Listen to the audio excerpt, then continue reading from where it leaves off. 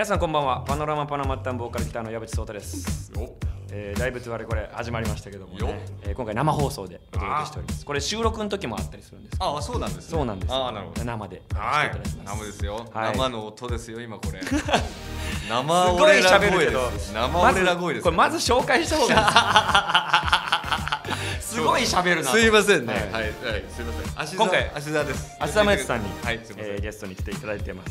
よろしくお願いします。よろしくお願いします。お願いします、はい。誰やねんって話だと思うんで。はいえっとあのー僕が言います。どうぞ言ってください。言ってください。これでも照れくさいんですよねなんか宗津さん。改めて言うとね。はい、どうぞ。ハップコーンとして。そうなんです。芸人として活動する中。一切売れてない。えいいで猫続けて、うん。ふて猫、ん。ロックちゃんのイラストを手掛けたそれだけちょっといちょっとだけ知られてる。これは知られてる。これだけ知られてるこれで知られてる、うん。一人芝居オロスオロスね。開催、うん。でスクローブロックの教頭としてメインパーソナリティを約5年務めるなど。そオールマイティに活躍。本当幅広いですよねでも。幅広すぎて、うん。誰も一致してないのよ俺 俺を。俺今日来るまで聞いてて。あマジですか？パノラマパナマタウンの魅力は何だろうと思って聞いてたら。はい、やっぱなんか BPM がさ、うん、前結構ずっと速いじゃん。早いですね。速いのと、うんあと音がめちゃくちゃ手前にあるなっていう印象が。前のめり、前のめり、うんなんか食ってかかってる感ああ嬉しい。じこれはなんかあるんですか？いやそう言いたいことがいっぱいあるからこのスタイルになったっていうのがあって。なるほど。なんか早口で言いたい言葉をもう早く前面に出したいみたいな。るほど。なはいそれであの BPM になってる。そうなんです。早くでもその早いのからちょっと抜けなきゃなと思って最近はちょっともうちょっと遅い曲みたいなのもいっぱい作ってるんですけど。すげえ。ソーシャルネットワークって映画みたいなねあの映画一回普通の長さで撮ったんだけど、うん。うん尺が収まんなくて、うんめちゃくちゃ早口にしたの。ええそうなんですね。でも主人公が天才、えー Facebook うん。作った天才の役だからうん早口のが合うっつって。あー結果的にハマったのなるほどすいません。ソーシャルネットワークではないないですけど。ないけど。確かにそうなんかでもいや丁寧仕事が丁寧だなと宗さんの何の話？いや聞くってすごいじゃないですかでもここに来るまで聞いて。あおいおいおいおいそれはなんか何も聞かずに来て何も偉そうに。いありがとうございます。やライブ行ってないからそれも失礼僕でもパップコーンのあのコント映像を見てやめてよ恥ずかしい食中毒。わいやー恥ずかしい。あのだいぶとあれこれなんですけどええ。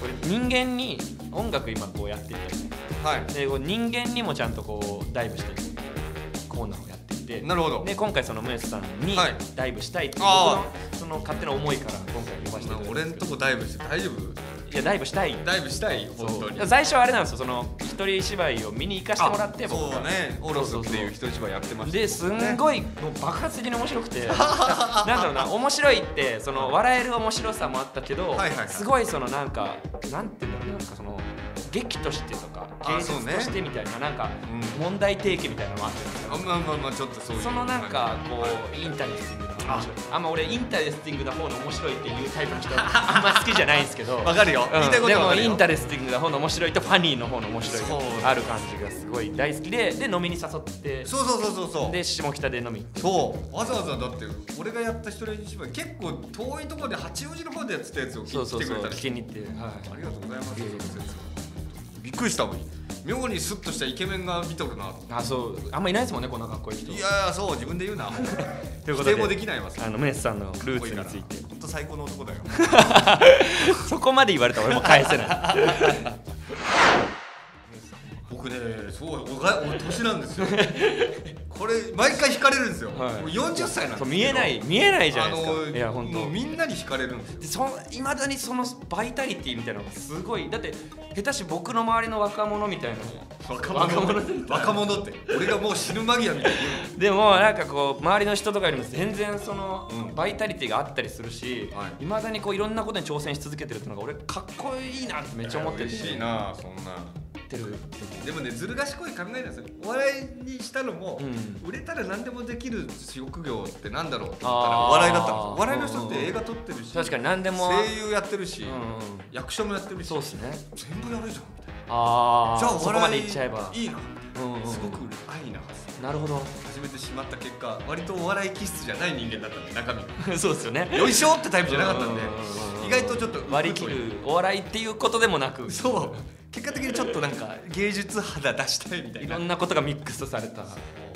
そう。じゃないと多分スクローブロックとかってできできなかった人だと思うああなるほど。プロブロックとか結構割とシリアスなお話とかもいっぱいある。んで、うん。それでこっちの方に来ちゃったという。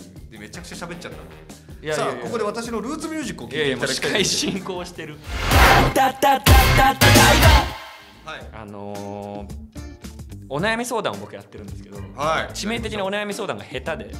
えー、そんな？いやもう本当はうまく答えられてなくて。あそう。そうなんですよ。だからなんか抜本的な解決にならないっていうのでちょっと有名なんですけど、なるほど。いやでもでもやっていきましょうっとやっていこうと思思って、うん。あのツイッターで今いっぱい来てるんで。これも話を深掘っていくっていうのが大事ですからね。えーい。きます、はい小さいことでイライラしてしまい、えーだから本来の列に並ばないで横入りされるみたいなことがあったりとか、はい。で心が広くなるにはどうしたらいいでしょう？すごいじゃあこれスタンダードな。どいやいやわかりやすい。スタンダードな悩みですね。ありますよね。これみんなあるとう。思う、心広くなるとにはどうしたらいいでしょう？よね。ね。え、うん。でもまあ本当に些細なあれですけどこうんうん。の人もいつか死んでしまうんだなって思う 僕はよくやりますよ。この人も横入りするやつも死んじゃうから。かこの人も亡くなってしまうし、うんうんうん。僕もいつか死ぬしなんか寛大になろうとすることってすげえ自分を苦しめません？時になんかそのなんだろう俺ってもっと心広くあったらいいのになっていう考えって、うん。結構何も生まないというか、うん。なんかそこへの憧れって結構辛くなっちゃうなと思って。ああまあそうね。イライラするならイライラするでいいけどそれを置いとける能力というかなんかイライラしたままに。ああなるほどね。イライラを、まあ、パワーに変えられる人はそれで別にいいと思うんですよ、うんうんうんイライラっていうことがムカつくとかがエネルになってる人いるじゃん、そうですねバイタリティそれが例えばお笑いの人でもトークに「もうあいつ腹立ったよ」みたいな話する人いるじゃない。バンドとかでもありますもんだって。それさっきのバンドとかも。そうそうそうそう。の日々のイライラが全部その音楽になったりとかフラストレーションが。でいいと思うしそれがどうしても嫌だっていうんだったら本当に想像力をフルで働かせるしか僕はないと思う。なるほど。俺もどうだ？俺も焦ってる時イライラしてないかみたいな。ああ自分が焦ってる時にこうイラするでしょ、はい。めちゃくちゃゆっくり歩いてるおじいちゃん、うんうんでも俺もいつかしこの年取った時に思った以上に足が重くなり この一歩がめちゃめちゃ重いと。この一歩が出出ないのですと。でもそうなった時に私はなんかこのなんかそれここに対して文句を言うだろうか。いや言わないみたいな。だから人の視点に立つってことそう。うんこれは一個できたら、うん確かに人として強くなれるしそう、うん。だからそれを極論にすると人はいつか死ぬなんですよ。それずるいじゃないですかそれ多分今からの悩み全部それでいけるなと思うもうおしまいの時間ということで。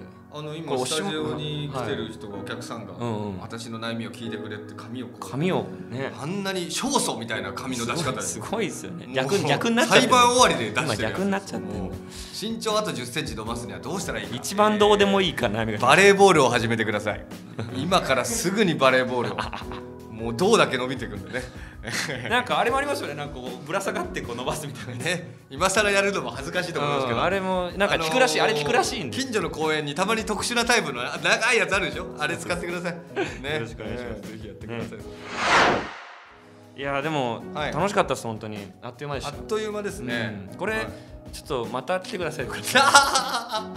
初、うん。ゲスト2人目だっけ俺。そうですね。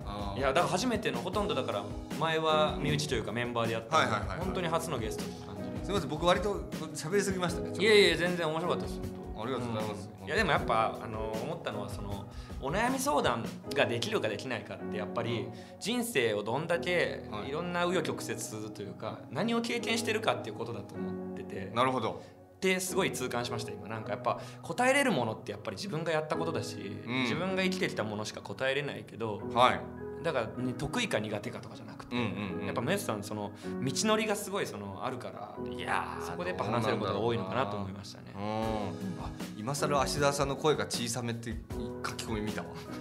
今気づいたわ。28分前の。ごめんな。そうですね。そう。あと嫁からも LINE が来てたわ。声が小さいって。え今聞いてくださってるんですか？これマイクの俺の向きがちょっとおかしかったからそうか。今後悔するわ。